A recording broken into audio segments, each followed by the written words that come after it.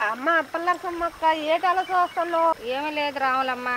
మా నా వరిసేనులో ఏమైనా తెగుళ్ళు పురుగులు ఉన్నాయేటని ఎన్నిలు పరిశీలన చేస్తున్నాను.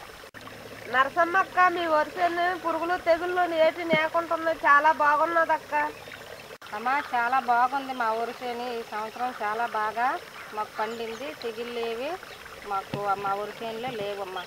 అక్క మా వరిసేనుకి ఏ తెగులు వచ్చిందో కానీ శుభ్రంగా పంటల్లో పాడైపోతుంది అక్క. ఏం చెయ్యాలో ఏమో కానీ మా మాకైతే అర్థం కాలేదు. ఇంతకీ నీ పంటకి ఏ తెగులు వచ్చిందమ్మా? ఏమో ఏ తెగులు వచ్చిందో కానీ నాకైతే తెలియదు అక్క. నువ్వు ఒకసారి వచ్చి చూసి చెప్పక్క అలాగే వెళ్ళి చూద్దాం పదమ్మా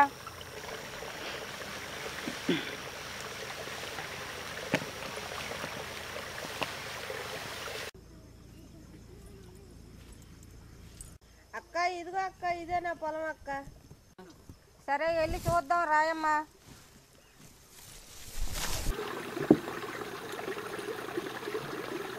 అవునమ్మా రావులమ్మా నీ చేనంతా అగ్గి తెగులు వచ్చి పాడైపోతుందమ్మా.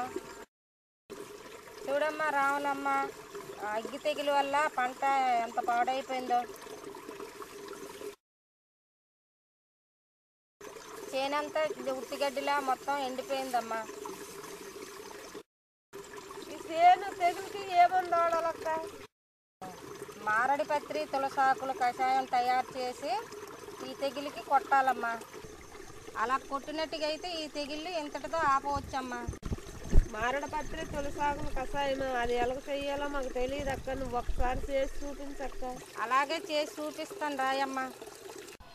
అమ్మా రాములమ్మ ఈ మారడి పత్రి తులసాకులు కషాయం చేయడానికి ఈ వస్తువులు అవసరం. పది కేజీల మారాడి పత్రి ఆకులు. కేజీన్నర తులసి ఆకులు.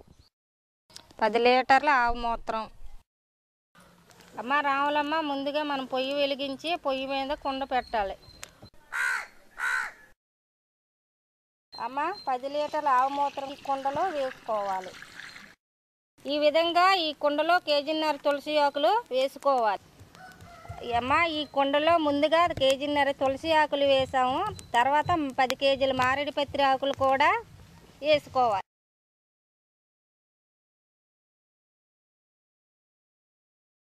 మా రావులమ్మ కుండ పైన మూత ఈ విధంగా పెట్టుకోవాలి.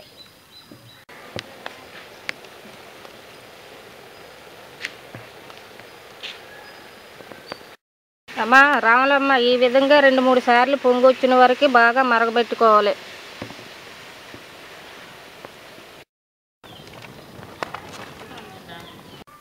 అమ్మ బాగా మరగబెట్టుకున్నాం కదమ్మా. దీన్ని కిందన పెట్టి చల్లార్చాలి. అమ్మ ఈ కషాయం బాగా మరగబెట్టి దించుకున్నాం కాబట్టి నలభై ఎనిమిది గంటల పాటు బాగా చల్లార్చి ఉంచుకోవాలి. నలభై ఎనిమిది గంటలు చల్లార్చిన కషాయాన్ని పలసటి గుడ్డలో వడపోసి ఉంచుకోవాలి. ఈ కషాయాన్ని ఈ విధంగా వడపోసి ఉంచుకోవాలమ్మా.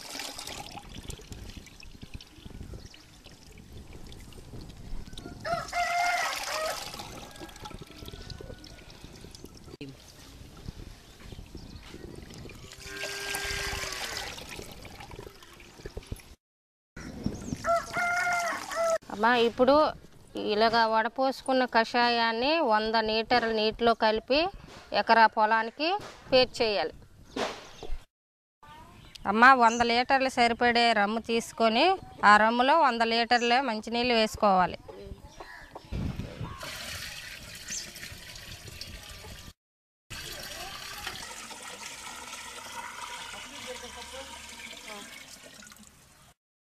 వంద లీటర్ నీళ్ళు వేసుకున్నాం కాదమ్మా.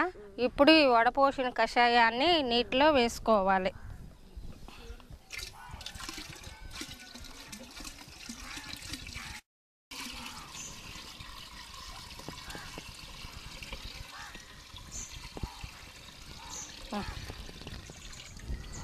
చిన్న స్పేర్తో కానీ ఎకరా పొలానికి స్పేర్ చేయాలంటే రెండు వందల లీటర్ల నీళ్ళు కలుపుకోవాలి. పెద్ద స్పేర్తో అయితే వంద లీటర్ల నీళ్ళు కలుపుకొని పిచ్చికారి ఎకరా పొలానికి చేయాలి. అమ్మ కషాయం వేసుకున్నాం కాబట్టి ఇందులో వంద గ్రాముల సర్ఫెక్స్ వేసి కర్రతో కలుపుకోవాలి. వంద గ్రాముల సర్పక్షలు వేసాం కాబట్టి ఈ కర్రతో ఇలా కలుపుకోవాలమ్మా.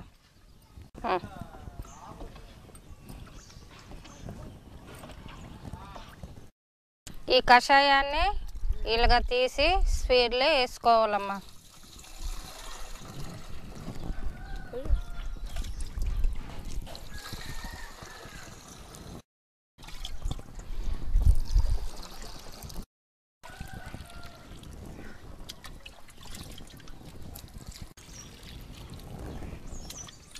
అప్పలరసమ్మ ఈ కషాయం తయారు చేసినప్పుడు ఏవైనా జాగ్రత్తలు తీసుకోవాలా? అవునమ్మా రాములమ్మ. ఈ కషాయం తయారు చేసుకోవడానికి ఎకరా పొలానికి సరిపడిన వస్తువులన్నీ ఉంచుకోవాలమ్మా. ఈ కషాయం తయారు చేసుకున్న వెంటనే ఈ పొలంలో పిచ్చికారి చేసుకోవాలమ్మా. నిల్వ ఉంచకూడదు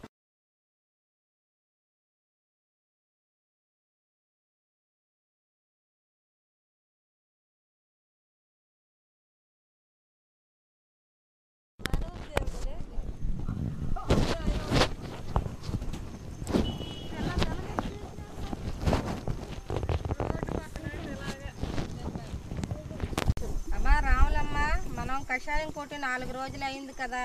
తెగులు కొంచెం నివారణ అయిందమ్మా.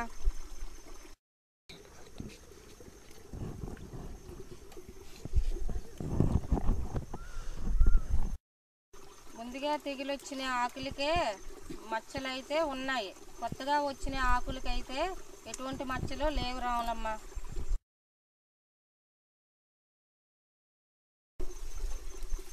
చేనంతా పాకలేదమ్మా. కొత్తగా వచ్చిన ఆకులకైతే మచ్చలు లేవు. మొదట ఏదైతే పాత ఆకులకి తెగులు వచ్చిందో ఆ ఆకులకే మచ్చలు ఉన్నాయి.